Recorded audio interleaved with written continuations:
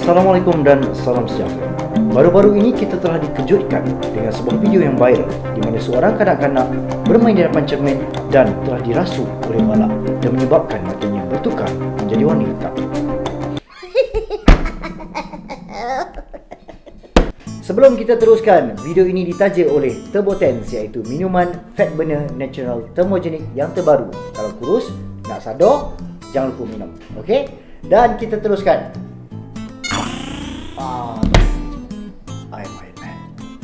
Ah, nampak? Okey, jadi seperti yang korang nampak video tersebut, uh, mak dia sedang merakam ragam anak dia yang sedang bermain cermin dan kemudian tiba-tiba bila anak dia pusing je kat cermin tu, budak tu jadi macam mati hitam.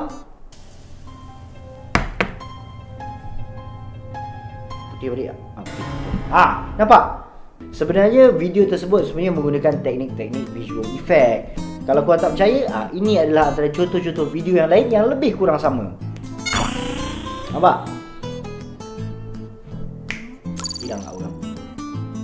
Itulah dia video visual effect yang menampakkan benda-benda itu semua semuanya adalah manipulasi uh, kamera dan juga manipulasi di komputer. Saya akan menjemput seorang yang pakar dalam bidang VFX dan juga animation iaitu Bami. Yeah. Hey! Okey Bami. Okay. Uh, awak dah tengok ke belum video tu yang budak kecil yang Oh, yang baru ni eh? Ya. Oh, amazing. Siap ada muzik seram lagi. Hmm. So Bami sebenarnya benda tu real ke tak real? Kenapa orang cakap dia real lah? Macam mana tu? hmm. Memang video tu kalau tengok sekali memang dah tak real dah. Yang orang cakap real, real kan? tu sebab pun saya tak faham kenapa. Mungkin sebab bila dia tengok budak kecil cermin Hmm, Biasalah lah. cermin kan Orang Melayu.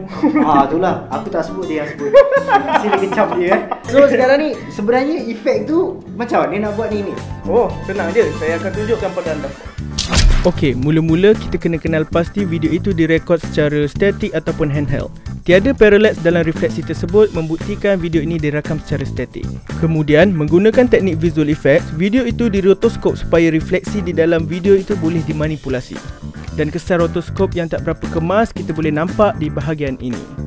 Setelah semuanya selesai diedit, resepi terakhir iaitu camera shake dimasukkan ke dalam video itu supaya nampak macam dirakam dengan tangan. Wah Hebat ni eh Ada orang tegur tak awak dengan toy yang Ada cara lain tak Mi Yang untuk kita detect Yang video-video jenis-jenis macam ni fake Ada, ada satu cara lagi yang lebih mudah.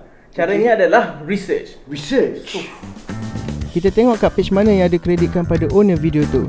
Dan kat page ni kita boleh nampak ownernya adalah Nasrullah Napi. Dialah seorang videographer. Jadi tak terkejut lah kalau dia boleh hasilkan video macam ni. Dalam Facebook dia pun dia dah bagi tahu macam mana cara dia buat. Bermaksud video tu adalah fake. Ha, macam tu lah cara dia. Macam tu eh. Hmm, apa tujuan dia buat video ni eh? Dia macam ni bro. Sebenarnya Orang-orang yang jenis suka buat-buat video macam ni Dia nak mempromosikan diri dia. Uh, Nak viralkan dia punya video.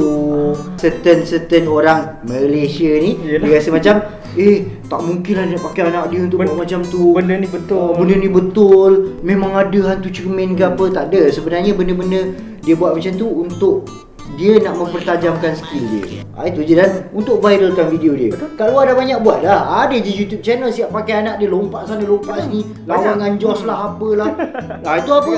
Entity Entity Saya ada satu idea ni lah. ha. Apa kata kita buat video viral kita sendiri? Ah, cantik Oleh itu Jom kita start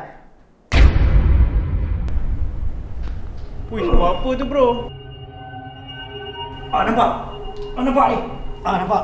Oh, Tahu dah sadar. ah, nampak kepak pula. Kepak ni boleh terbang ni. Ah nampak belakang pula. Oh, eh, eh, eh, eh, apa lah tu cubit ni? Apa salah tu cubit banyak datang ni? Eh, belah, belah, belah, belah, belah, belah.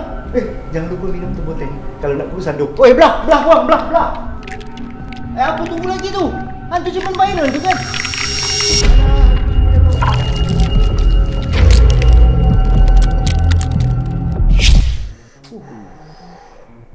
Tu melampau sangat tu bro Wah. Sampai keluar Oh, Orang tu buat Anak dia mati hitam je Lepas tu delete 2 second je Kesimpulan yang boleh Saya buat sebenarnya kita jangan terima bulat-bulat apa saja video yang ada di internet ataupun di media sosial. Betul. Kita kena research dulu. Video-video macam ni memang banyak lambakan-lambakan di internet. So jangan buat spekulasi sebelum research. Ya. Yeah.